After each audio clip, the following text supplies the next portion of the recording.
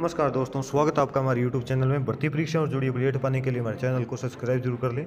अभी अभी UP TET भर्ती परीक्षा से जुड़ी एक बड़ी खबर सामने आ रही है। जी हाँ दोस्तों, भर्ती परीक्षा स्थगित को लेकर एक खबर सामने आ रही है। आपको बता दें कि जैसी ऐसी बहुत सी खबरें चल रही है कि कोरोना के कारण यह भर्ती परीक्षा आगे कर दी गई है या स्थगित कर दी गई है तो हम आपको बता दें, अभी तक ऐसे कोई भी शासन आदेश नहीं आए हैं। जी हाँ दोस्तों, ऐसे कोई भी सरकार द्वारा आदेश जारी नहीं किया गया है कि इस भर्ती परीक्षा को टाली टाली जा चुकी है। तो आपको बता दें कि यह भर्ती परीक्षा अभी निश्चित तिथि अपनी तय तिथि तेईस जनवरी को ही होने की सूचना है।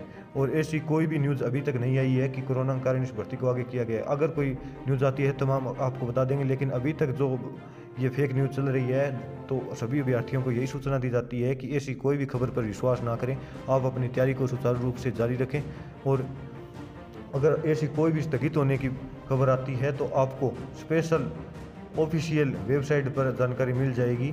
और आपको बता दें कि अब तो आपके प्रवेश पत्र एडमिट कार्ड भी जारी हो चुके हैं तो अब लगता है ऐसा कि ऐसी कोई भी खबर नहीं आएगी। यह परीक्षा अब 23 जनवरी 2022 को ही होगी। दोस्तों, ये थी इस वक्त की बड़ी अपडेट वीडियो। अच्छी लगी वीडियो को लाइक ज़रूर करें।